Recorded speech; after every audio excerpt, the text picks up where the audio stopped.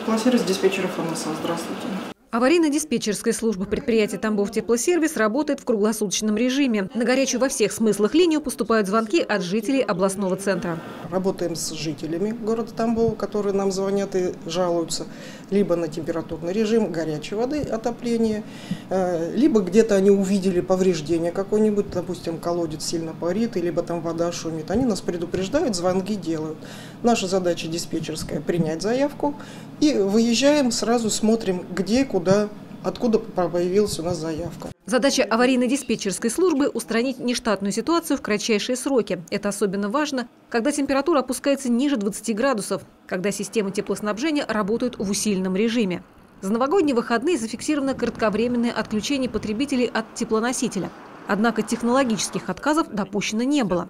Аварийно-диспетчерская служба в круглосуточном режиме держала руку на пульсе. На аварийно-диспетчерскую службу была большая нагрузка в эти праздники. А, принимали много заявок, действовали также оперативно. А, температура на котельных а, изменялась относительно температуры наружного воздуха. Да, у нас были кратковременные отключения, но технологических аварий и отключений крупномасштабных у нас не происходило. Праздники прошли спокойно, и жителям было тепло.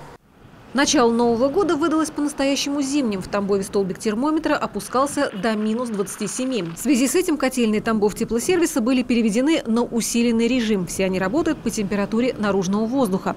Прогресс и цифровые технологии пришли и в городские котельные. Сегодня поддать огня в котел очень просто нажатием одной кнопки автоматической системы.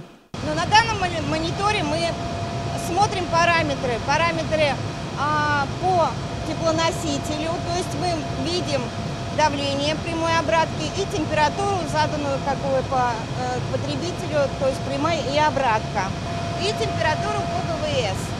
Вот. То есть вот эти вот параметры мы здесь можем смотреть и контролировать. Если что, мы спускаемся вниз и уже соответственно регулируем с наружной температуры воздуха, какую нам задают. У каждой котельной есть резервные мощности. Это позволяет в морозы подавать теплоноситель более высокой температуры. В случае возникновения нештатной ситуации и выхода из строя котла в каждой котельной есть резервное оборудование для бесперебойного функционирования систем жизнеобеспечения. На наших котельных есть резервное оборудование, резервные котлы, насосное оборудование. А в случае каких технологических нарушений мы оперативно переходим на резервное оборудование и э, выводим в ремонт э, оборудование, которое вышло из строя. Оперативные службы тут же реагируют, проводят ремонтные работы, и это оборудование, опять же, включаем в работу. А впереди еще три месяца климатической зимы. И прохождение пиковых отрицательных температур будет для тамбовских энергетиков очередным экзаменом на прочность систем и эффективность реагирования на нештатные ситуации. А мы напоминаем, что телефон аварийно-диспетчерской службы муниципального унитарного предприятия «Тамбов Теплосервис» 53 04 10. Людмила Марченко, Михаил Мальцев, Данил Лычко. Область новостей.